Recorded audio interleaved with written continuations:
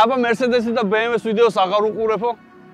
მოგესალმებით, დღევანდელ ვიდეოს წარმოგიდგენთ Pro Auto. Pro Auto უკვე მოგახსენეთ, რასაც საქმიანობს. ეს არის ავტო ასისტენტის სერვისი, ანუ ეს იმას ნიშნავს, რომ თქვენ თუ არ გაქვთ დრო იმისათვის, რომ ავტომობილი წაიყვანოთ და შეაკეთოთ თუ რაიმე დაზიანება აქვს, ან თუნდაც ტექ დათვალიერება გავატაროთ, ან უბრალოდ გარეცხვა რო გჭირდებოდა, შეგვიძლია ოფისიდან, სახლიდან გამოვიძახოთ ეს სერვისი, მოვა ავტო ექსპერტი, წაიყვანს თქვენ ავტომობილს და მოგახსენებთ ყველანაირ პრობლემას. ნუ რა თქმა უნდა, თუ გინდათ უკვე გააკეთებინოთ, თუ არ გინდათ მოგიყვანთ უკან. ნუ ერთი სიტყვით იმის თქმა მინდა, რომ ესეთ მზეში არ გახუნდებით, არ იქნებით სადმე ზეთიან ძუნძგლიან ბოქსში, არ მოგიწევთ ჩხუბი ხელოსნებთან და ერთი სიტყვით, გრილად სახში დაელოდებით ინფორმაციას, რომელსაც მოგატვით პროავტო. ლინკები აღწერაში შეგიძლიათ დაუკავშირდეთ და გამოიყენოთ მათი სერვისი. ხოლო რაც შეეხება დღევანდელ უხეშ ტესტ-დრაივს, დღევანდელ ვიდეოში თქვენ ნახავთ ცელა.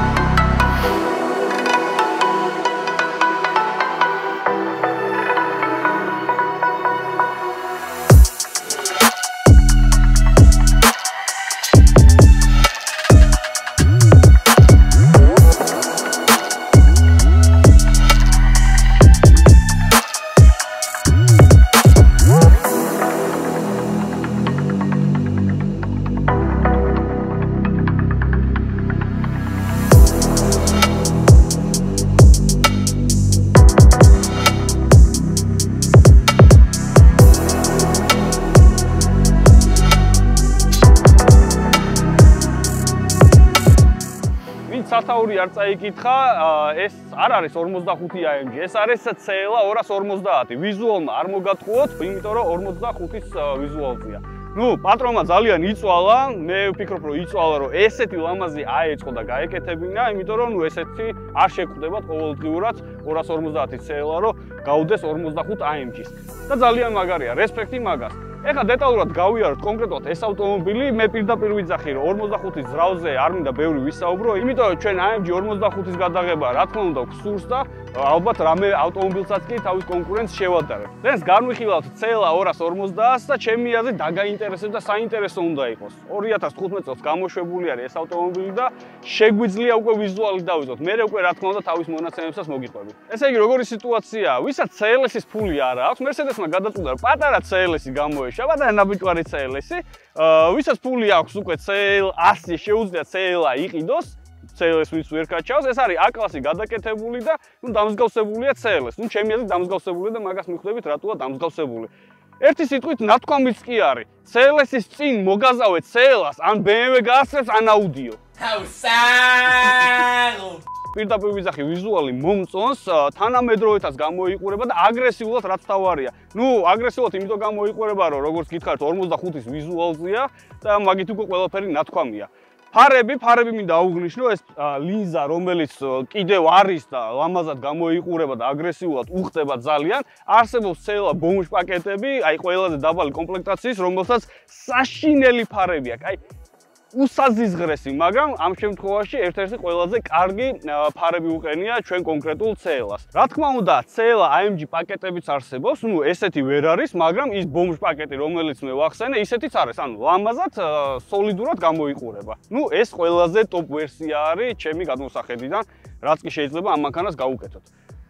ბამპერს რაც შეეხება, ბამპერზეც საკაიფო უზორები აქვს, აი ეს დიდი აგრესიული ჭრილები, საჰაეროები, ცხაურა სტანდარტული Mercedes-ის და კაპოტი მინდა აუგნიშნო, რომელზეც აი ეს ორი ლამაზი ამოწეული ბოლომდე მიყვება, მთლიან კაპოტზე ბამპერიდან გადასულია და მთლიანობაში ამ ავტომობილის ხვირი ძალიან კარგად და აგრესიულად გამოიყურება.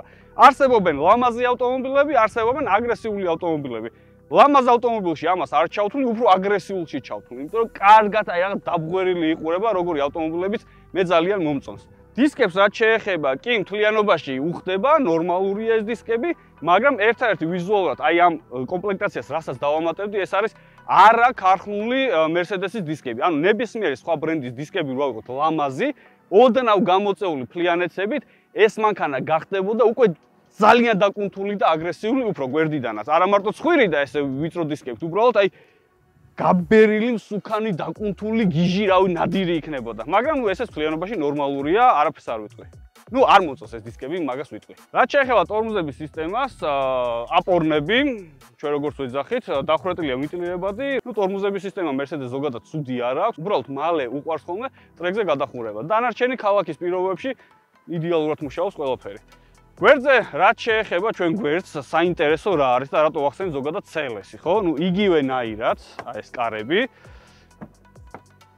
სტოიკების garaშე რაც არის, 4-კარიანი სედანი კუპე რო ხდება, აი ეგ ვიზუალი აქვს ამას და ძალიან მომწონს. უფრო ელეგანტური არის.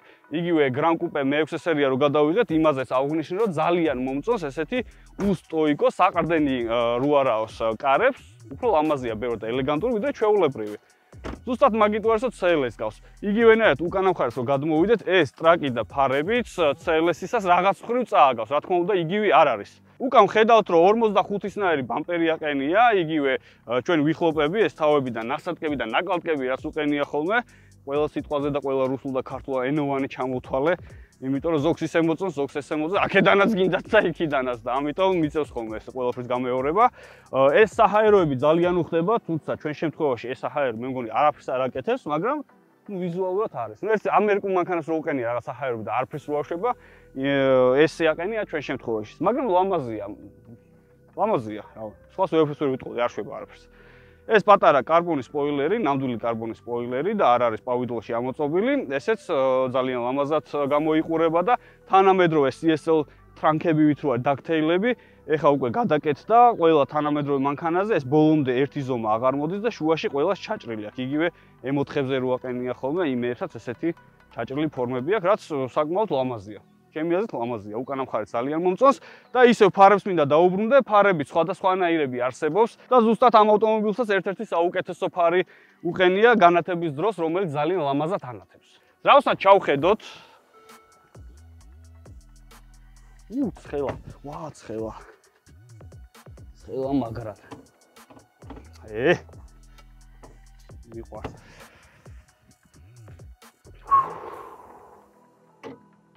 ყველაფერი ცხელია.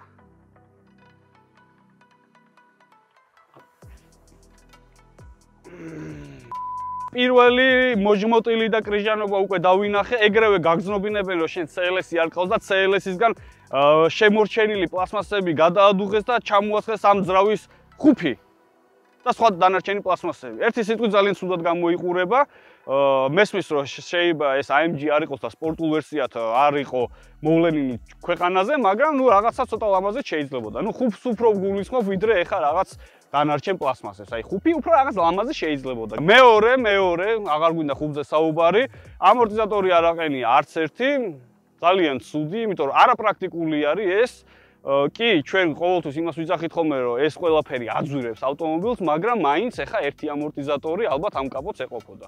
ჩემი აზრით. ეს საშინელებაა. ჯოხით ესე რომ მოძრავებ და დადიხარ და მე ახლა უნდა ჩაარჭო და მე სამაგრი გიტყდება და ის რკინა იქით აქე დადის, ეგ რაღაც უცნაურია. და რეალურად პრაქტიკაშიც ამ მომენტში შეგიძლიათ ნახოთ და გამოვცადეთ, რომ სანამ ის რკინა გაუყარეთ, ხელი დამეწვა, იმიტომ რომ ესეთ მზეში, ესეთ სიცხეში ძალიან ცხელდება თუნუქი, ანუ ეს რკინა კაპოტის და ხელი რამის დავიწვე, რამის კი არა დავიწვე. ნუ ქორწილამდე გამივლს, მაგრამ მაინც დავიწვე.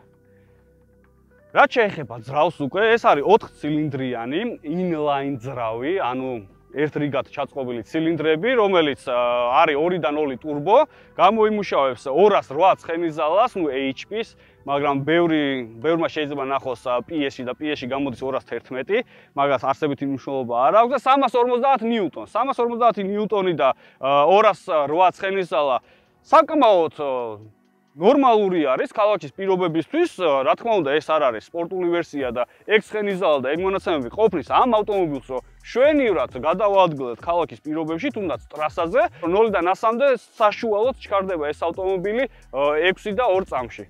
არ არის ძალიან ცუდი შედეგი, ჩემი აზრით ძალიან ცუდი კი არა, კარგი შედეგია, ესე ვფიქრობ, ჩვეულებრივი ავტომობილისთვის არ არის საჭირო უფრო ჩქარი იყოს, იმიტომ რომ უფრო ჩქარი თუ გინდათ, უნდა წახვიდეთ და იყიდოთ CL 45. გადაცემათა კოლოფი აყენია ნახევარად ავტომატური, შვიცი ჩქარიანია, მერვე უკვე არის უკუსლის, ავტომობილი იწონეს ტონა ნახევრის საშუალოდ პლუს მინუსით, იმიტომ რომ ეს ავტომობილები არ ვიცი რა დავაშავეთ, რა ცოდვა ჩავიდინეთ, რატო გადაწყვიტა Mercedes-მა რომ ესეთი ცუდი რაღაც უნდა გაეკეთებინა, არის ფორმატიკები და წინაწამყვანები. No god! კი ბატონო, ფორმატიკები, ანუ კვადრო, როგორც კვატრო, რომელიც გინდა დაუძახეთ, Mercedes-ი ფორმატიკს ეძახის, კარგია. ვეთანხმები, მაგრამ როდესაც არჩევნის საშუალებას გვაძლევენ, მე მირჩევნია ან კვადრო ფორმატიკი მყავდეს ან უკანა წამყვანი და არანაირად არ განვიხილავ წინა წამყვანს და ფორმატიკს. ანუ ეს იმას მიუთითებს, რომ წინა წამყვანი არ უნდა ყოფილიყო. ანუ ოფციას უნდა ყოფილიყო კვადრო და უკანა. წინა წამყვანი რატო? აი რა დავაშავოთ Mercedes-მა რატო გადაწყვიტა, რომ ავტომობილი შეიძლება ყოფილიყო წინა წამყვანი Mercedes და ჩვენ შემთხვევაში ეს ავტომობილი არის წინა წამყვანი. No! წინა წამყვანი. რატო მოუვიდა თავში, რომ წინა წამყვანი უნდა გაეკეთებინოს. გზაში ჩიტმა დაგვაჯვა, მაგრამ არა უშავს დაჯმა აქ ამთავრდება. ვინაიდან ჩვენი დღევანდელი რევიუ არის უფრო საოჯახო სედანზე, მინდა რომ ჩავიხედოთ საბარგულშიც და უკანა სავარძლების ვნახოთ. საბარგული საკმაოდ სოლიდურად გამოიყურება, სიღრმე აქვს, ჩემი აზრით კარგი ზომის არის ამ ავტომობილისთვის ეს საბარგული და ამაში ძალიან დიდ პლუსს უწერ. ვიზუალთან ერთად საბარგულის ტევადობას პლუსს უწერ. მოდი სანამ დავიძრებით უკანა მხარეს შევამოწოთ როგორი სივრცეა, საჭესთან მე ვიჯექი, აქამდე რომ მოვედით და ვნახოთ ჩემივე თავის უკან როგორი სივრცე დარჩა CL-ში.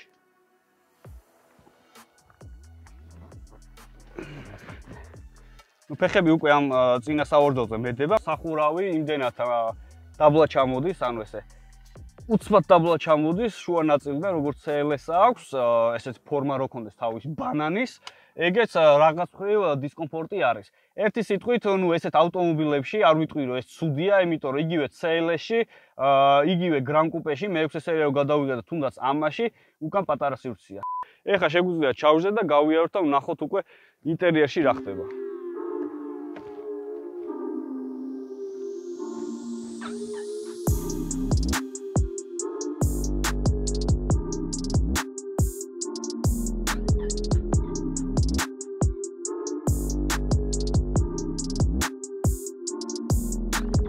საკუმარისას ვიკატავეთ ამ მანქანის, ეს შეგრძნებები უკვე მიმეღო, რას გგზნობ ამ მანქანაში სიარულის დროს. პირველი პირდაპირ შემიძლია ვთქვა, რომ არც ისე ჩუმი არ არის, სიჩუმეში გულისხმობ, რომ გარედან შემოდის ხმები. ну ძალიან არა, მაგრამ უფრო შემოდის. ბევრ ავტომობილში უფრო დახურული სივრცე არის ხოლმე ისეთი. ეხლა მაგალითად რუსთავის გზაზე ვიმყოფებით და ეს ბეტონის ფილები რაც არის დაგებული ასფალტის მაგივრად, მაგაზე სიარული კარგად შემოცა. ეს აკაიფოთ მოდის, მუსიკას თუ არ აუწიეთ, ეს ხმა ალბათ ჭუიდან შევშლის. ეგ აქვს, რა თქმა უნდა, ყველა წინა წამყვანს როგორც აქვს, ამაზეც მოხვევის დროს ეს რულს რო მისდევ აი პირდაპირ გაგებით, აი რო თავისით მიდის ადრას და შე რო ეჩალიჩები რო დაიჭირო, ზუსტად მაგიტომ არ მომწონს წინა წამყვანი ავტომობილები. ყოველთვის კომფორტული არის უკანა წამყვანი, არ არის აუცილებელი მანქანა დრიფტაოვდეს, ყოველთვის რომ რაღაცას ხსნი, ყველას გონია რომ არა მე გაზაობისთვის არ მინდა ისე მინდა. ისეც ბევრად კომფორტულია უკანა წამყვანი ავტომობილი საჭის მხრივ. იმიტომ რომ არ გვიწევს ჯაჯგური და რულს არ დაუყვებით და თავის ნებაზე არ დადის სადაც უნდა იქ. სიარულით ხისტი არ არის ძალიან რბილი. რო გითხრათ აი ეს დაქანა 12 და აკვანია არც ეგ არ არის. ნორმალურია ესე შევაფასებდი რომ ნორმალურია ვერ ვიტყოდით რომ უხეში და გრუბი მანქანაა და ვერც იმას ვიტყოდით რომ აი ძალიან რბილი არის ეს ავტომობილი და აუ იცი როგორი სირბილი აქვს ცელა ასე ეგეც არ არის. ანუ შუალეთში არის, რაც ჩემი აზრით, ახლა ცუდია მეთქი ვერ ვიტყვი, პირიქით, კარგი არის, მაგაზე მინუს არ დაუწერდი, ეგ დაკიდების სისტემას მომეწონა ერთი სიტყვით. ფლიანობაში ცუდი არ არის ნამდვილად. გადმოვიდეთ ინტერიერზე, სიარული ცოტა ხანი დავივიწყოთ, მე შეგვიძლია უდნა ვაუჩქარდეთ კიდეც, მაგრამ ინტერიერი არის საინტერესო. საინტერესო არის იმიტომ, რომ აქ ძალიან ბევრი მინუსი ვუპოვი ამ მანქანას, რასაც არ ველოდებოდი მე და არ მოველოდებოდი, რომ ექნებოდა ამ მანქანა. პირველი, როგორც კი ჩაუჯექი, ეს არის მონიტორი, ჩავრთოთ, რომ კარგად გამოჩნდეს. კი, ყველა ახალ Mercedes-ში დაახლოებით ესეთივე მონიტორები აყენია, მიწეპებული, ამაგას აღნიშნავ ხოლმე, მაგრამ თლიანობაში რაღაც უფრო უხდება ხოლმე ერთმანეთს. ამ თლიანობაში ვიძახ, თორე ცალ-ცალკე ხა შეიძლება მარტო ფარი რომ მოხსნა და სადღაც დავდოთ, ისიც მაგარი მახინჯი იყოს. თლიანობაში ეს მონიტორი არ მომწონს, აი არანაირად ეს უმოძრაობს და რო ჭრიალებს არ მომწონს, სავარაუდოდ ინტერიერის დიზაინერს რო კითხეს, აი მონიტორი როგორ დავაყენოთო, მხოლოდ ერთი პასუხი ქონდა. რა გაიდეაც მოხდა? ეხა კონდიციონერს გამოვხდეთ, გავჩერდით, ეხა მინდა რომ ჩავაქრო ავტომობილი. რომ ნებისმიერი ხმა ავიცილოთ თავიდან და კარგად გაჩვენოთ და მოგასმენინოთ როგორი ჭრილის ხმა აქვს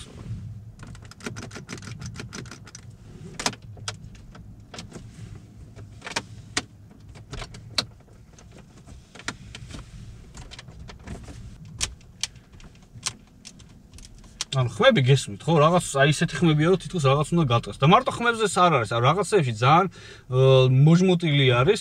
მაგალითად ფანქარი თუ გაქვთ გასათრელი პირდაპირ შემიძლია გითხრათ რომ აი აქ ისეთი პლასმასია გამოწეული მიმიქარავს კამარო. ზუსტად ეგეთი ზოლი აქვს მაგრამ ორჯერ დიდი. პირდაპირ შემიძლია თამამად თქვა რომ ბლაგვიდანა თუ გაქვთ ვინმეს შეგიძლიათ ამბოიღოთ პირდაპირ ერთი ორჯერ დაუსვათ და გაილესება. ამას არაფერი არ დააკლდება მაგრამ დანა გაილესება. აქ ორი სათავსო გვაქვს საფერფო რომელიც მოყვა ავტომობილს და მეორე სათავსო. მიდი, მიდი, ცოტაც. დასაზეთია, დასაზეთია პლასმასი. ერთი სიტყვით რა სათავსოა.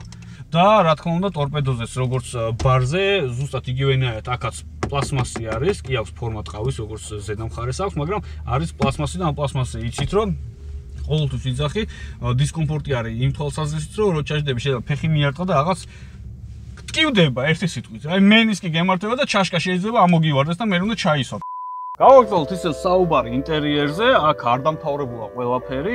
ეს მინდა აუხსნა რატო ხდება, ესეთი ჭყრიალი ხმა რატო ისმის, თუნდაც ესეთი ხარესის რატო არის. ეს იმიტომ არის, რომ გაგზნობინებენ და უნდა შეეგუო ამას, რომ შენ დაბალი კლასის ავტომობილს მართავ და შეიძინე დაბალი კლასის ავტომობილი. ეს ყველაფერი რო იყოს სხვანაირი, იქნებოდა უბრალოდ ძვირიანი და უკვე სხვა კლასში გადადის ეს ყველაფერი ფასით. ნუ ეხლა CLS-ის ფასი რო კონდეს, ამას რა თქმა უნდა არავინ აღარ შეიძენდა და ყველას ფეხებზე ეკიდებოდა. ამიტომ ეგეთ რაღაცეებში ცოტა მოჟოშკილი არის, ეგრე იხსნება ეს ყველაფერი, მაგრამ ზოგჯერ ზოგ მოდელში ისეთი მოჟოშკილია და მართლა ისე ცუდათაა რაღაცები გაკეთებული, რომ უბრალოდ გულიგერევა და გინდება რომ პირდაპირ დააჯვა. მაგალითად აი ეს დანისალესი რო ვახსენე, მართლა საშინელებაა, იმიტომ შეიძლება ხორცი შექშეს თითიდან. ეხლა ეგ მომრგვალებას არაფერი აღარ უდგას წინ.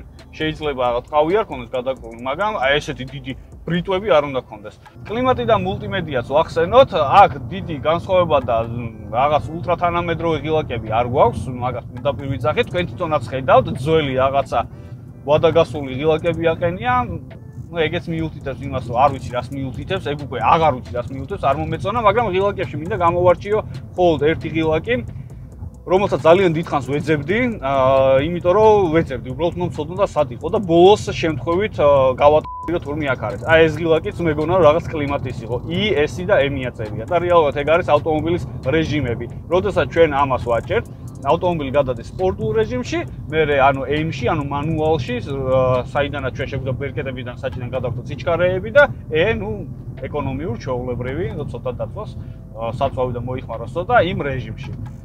რავი, საშინელებაა, მართლა კლიმატის ღილაკი მეგონა რომ რაღაც ჰაერი უნდა ეტრიალებინა შიგნით, ან რაღაც მაგასთან ახლოს დამაგვარი ღილაკი. ნუ ერთი სიტყვით ეს ადგილი არ მომეწონა. რა შეიძლება ამ წითელ ზოლებს, ამაზე დიდი აქცენტი არ მინდა გავაკეთო.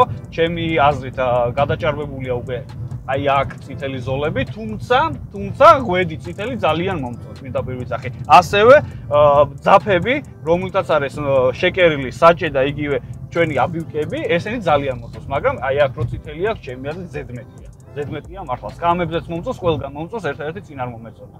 ამაზე დიდ ყურადღებას არ გავამახვილებ, იმიტომ რომ ვიღაცა შეიძლება პირიქით ძალიან მოწონდეს.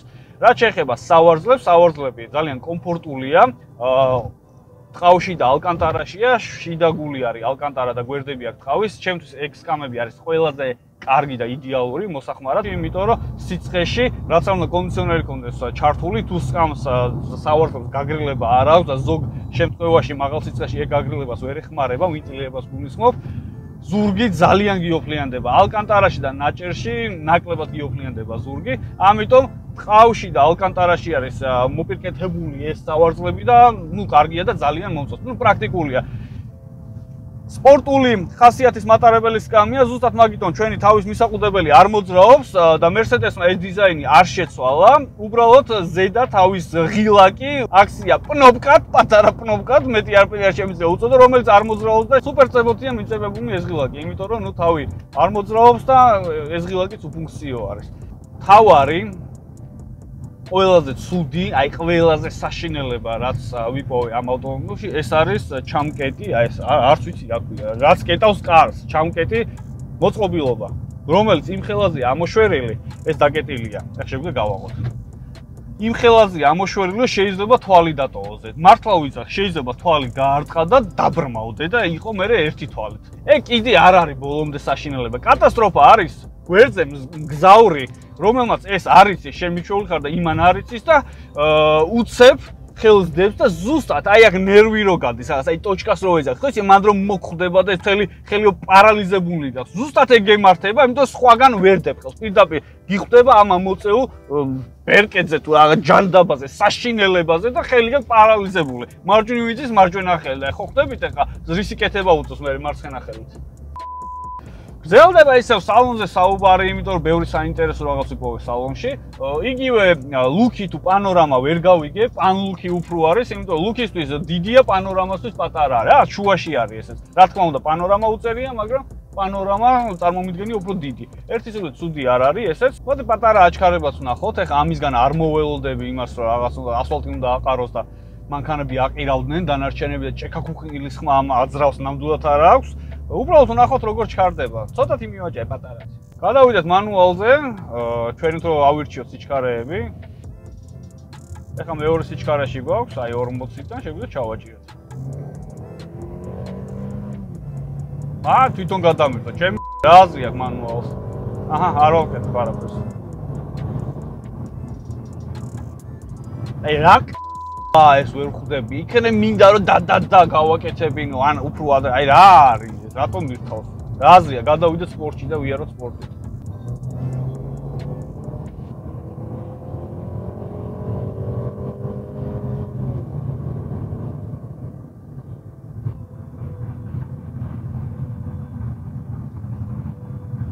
სუდათ არ მიდის, სუდათ არ მიდის გუნდობ იმას, რომ საკმარისია ოჯახისთვის ეს ავტომობილი ყოველდღიური გადაადგილებისთვის, როგორც დასაწყისში ვახსენე, იგივეს გავიმეორებ. აა სასიამოვნო ხმა შემოდის თუ არა ძრავისგან და მაყუჩისგან? არა, საშინელი ხმა შემოდის.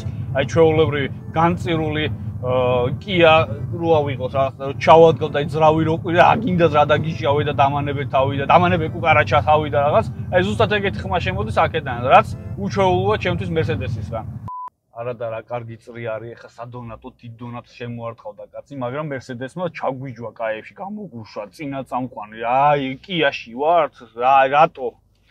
რა ჰონდა? რა თგვინდოდა წინა წამყვანი მერსედეს ვინ ურჩია? ან რომელმა ფანჯგუფმა ან საიდან აიღეს ეს სტატისტიკა, რავი, ხალხი კვდებოდა თუ რა არ ვიცი, რატო არჩიეს ეს წინა წამყვანი ყოფილიყო. ალბათ ტრაქს იქნებოდა BMW-ს აქვს. ო, აბა Mercedes-ები ტრაქს იქნებენ ახლები, ახლა ძველები უშევა, ახლები შვებიან უკვე.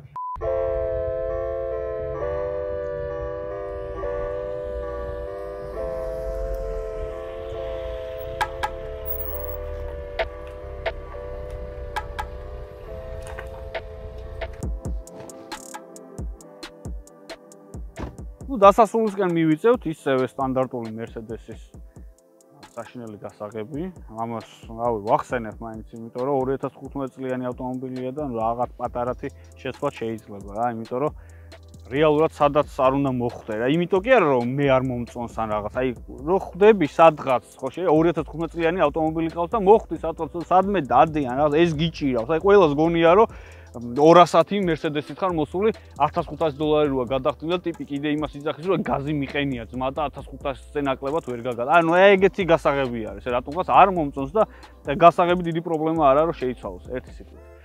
სხვა დანარჩენი შორიგზა ვახსენე, შორიგზაზე დამკლელი არ არის, კომფორტული სავარძლებია, წინ სივრცე მაქვს, არეალიც კარგი მაქვს, ეგ პრობლემა არის ხოლმე და მხოლოდ უკანა მგზავრებისთვის. ბარგის ადგილი არის, ლუკი გვაქვს, ლამაზი ვიზუალი გვაქვს, სისტრაფე და ეკონომია გვაქვს. ეკონომიაში გულისხმობ ეს ავტომობილი დაახლოებით საშუალოდ ქალაქში მოიხმარს 10-11 ლიტრს. ტრასაზე რა თქმა უნდა ნაკლებს, ну, კარგად ნაკლებს. ჯერჯერობით მაინც ისეთი ფასი აწოს ამ მანქანებს, რომ აი ყველა, ანუ ყველაში გულისხმობ უმეტესობა ეს massa ვერ წდება და ვერ ყიდულობს. ვისაც მაგდენი ფული აქვს, ცოტა სკიდი ამატებს და ყიდულობს უკვე სხვა მოდელს, უფრო მაღალ ჰაი კლასის კომპლექტაციით და CLS და E-კლას და C-კლასზე გადადიან. მაგრამ რეალურად ცოტა ხანში, აი რამოდენიმე წელიწადში ეს ავტომობილი კიდე რო გაიაფტება, თუნდაც AMG პაკეტი, ну ესეთ ვიზუალზე რა თქმა უნდა დღესაც ზვირი ღირს და უნდა ღირდეს კიდევაც შედარებით ზვირი, იმიტომ რომ ძალიან ლამაზად გამოიყურება და აგრესიულად, მაგრამ აი ოდნავ კიდე რო გაიაფტება, ძალიან პოპულარული გახდება ჩემი აზრით საქართველოში ეს ავტომობილი და ყველა ამერიკას მიაწყდება და ესე ვედროებით ჩამოიტანენ, კონტეინერებით ჩამოყრიან, რავი, სატვირთოებით ჩამოიტანენ, ჩამოზიდავენ, ზოგი ჩამოიყვანს კონტეინერთან ნორმალურ ავტომობილს, ზოგი ჩამოზიდავს აწყობს და მე აქ აწყობს და მიაკერეს თავის ხვირს. დღესდღეობით საქართველოში ამ ავტომობილის ფასი არის 10-დან 20-მდე, ნუ გააჩნია როგორი კომპლექტაცია და რომელი წოვანება აქვს და რა ფარები აყენია და წინა თუ კვადროა და როგორი სალონი აქვს, ნუ ამას ძალიან დიდი მნიშვნელობა აქვს რა თქმა უნდა. ნუ ხვდებით ახლა თქვენ უნდა არჩიოთ და შეძლოთ ყიდვა მაგ ფაში. მაგრამ ნუ ესეთი ალბათ ყველაზე ტოპ ვერსიებია 17-18 ალბათ ღირს ეს ავტომობილი და დარწმუნებული რომ ეგრეც არის. მაგრამ თქვენ თუ შეეცდებით, თუ ძალიან გინდათ ეს ავტომობილი შეიძინოთ, 10-ად რო იჩარლიჩოთ, თქვენს ჩამოიყვანთ აი ბანძ პაკეტს, რო ახსენეთ დასაწყისში ბანძი ფარებით, არა AMG პაკეტი, ჩვეულებრივი საბაზო, აი აღას არაფერში რო არ წერია, იმ CL-ას იყიდით.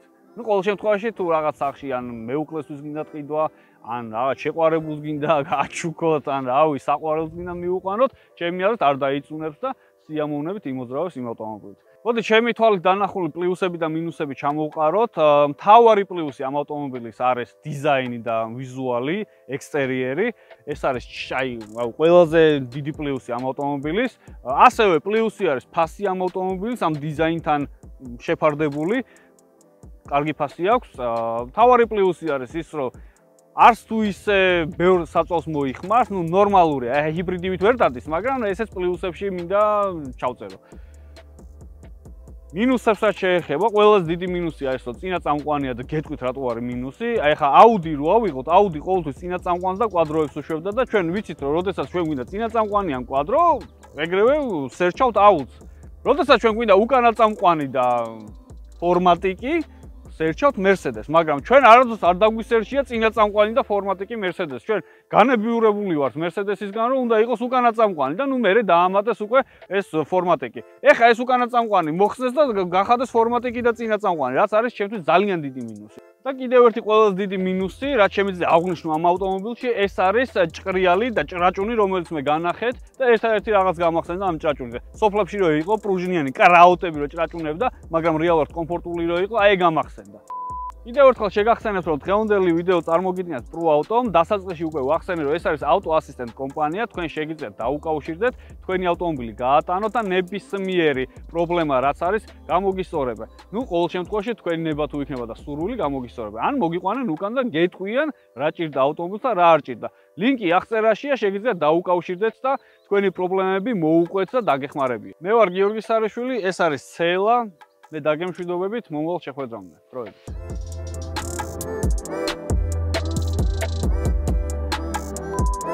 თუ გსურთ ყურის გახრედა უმტკივნეულოდ. თუ გსურთ ყურის უმტკივნეულოდ და სწრაფად გახრედა, დაგვიკავშირდით. ამას ყველაფერს გაგიკეთეთ. თუ გსურთ ყურის სწრაფად და უმტკივნეულოდ გახრედა, დაგვიკავშირდით. ყურის გახრედა ყველაზე სწრაფად და უმტკივნეულოდ. მე ხარ არ მსურს, მაგრამ ესე შეიძლება. იმიტომ რომ ჩვენ AMG-ს ორ იმიტომ რომ ჩვენ AMG 200 200 რატო გაუტრაგე. დღეს ვისაუბრებთ უბრალოდ 240 280 ის რომ ის ხო ის დღეს ვისაუბრებთ და განხილვაში გვექნება 240 40 რა კაი ხო პრაქტიკულად ყველაზე კარგი არის. გაჭრა შუაზე რამე ოფუმა დამასხაი თუ მოგეწონა ჩვენი ვიდეო აუცილებლად დაალაიქე და გამოიწერე არხი რომ არ გამოტოვო მომდევნო უხეშობები ხო, მართლა უხეშზე გამახსენდა. ზოგს გონია რომ ჩვენ პროექტს უხეში იმიტომ ქვია რომ მანქანები დრივჩი და ბუქსაობაში უნდა მოვკლა. ან სულ ანზვაგინებაში უნდა ვიყო. ეს არის უხეშად გადმოცემული სიმართლე. საუბრობთ ისე როგორც ვისაუბრებდით რეალურ ცხოვრებაში, ჟარგონებით და გინებებით. ხო, მართლა, ტრაქში არავის არ უძღვებით და შეამჩნიეთ ჩვენ გინებას ცენზურა აწევს. რატომ ჭარბობს Mercedes და BMW ჩვენ ტესტ დრაივებში? ჩვენ ჩავატარეთ გამოკითხვა და 80000-მა გამომწერმა მიიღო მონაწილეობა. ხმათა უმრავლესობით გამოიმარჯვა Mercedes-მა და BMW. თუმცა ჩვენ ზრუნავთ იმ 900000 მაყურებელზე, რომელსაც არ აქვს გამოწერილი ჩვენი გვერდი, მაგრამ აქტიურად გვაძევნებენ თვალყურს. ჩვენ ზუსტად მაგიტომ ვიღებთ ყველანაირ ავტომობილს, ეს იქნება სპორტკარი, საოჯახო სედანი, ეკონომიური ჰეჩბექი თუ უზარმაზარი SUV. და ბოლოს, ჩვენ ტესტავთ იმ ავტომობილებს, რომლებსაც თავაზობენ. ასე რომ თუ გსურს განსხვავებული ავტომობილის ნახვა, მიწერე განსხვავებული ავტომობილის პატრონს. გაუტესტავს არაფერს არ დავტოვებ.